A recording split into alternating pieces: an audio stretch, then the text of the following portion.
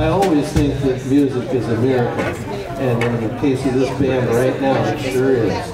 So we're happy to be here. This is the little band called the name.